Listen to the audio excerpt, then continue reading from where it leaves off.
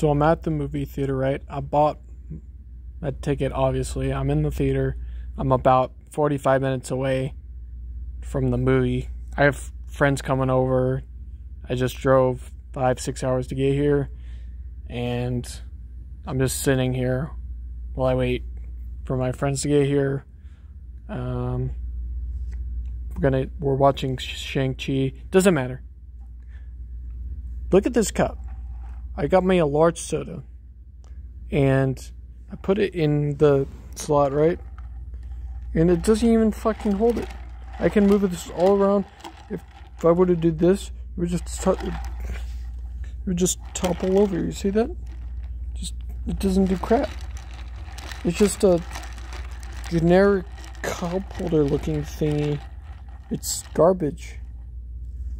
Look at these seats. I paid 12 bucks for this. I paid 12 bucks for this for this jank ass looking seat, man. These chairs look like they're fucking 30, 40 years old, man. Absolutely awful. Small theater. I don't care about the small theater. That's fine. I mean, they're surrounding, you know, the walls look okay. You know, screen's fine, but these seats, this cup holder is absolutely awful. Oviedo Mall, by the way.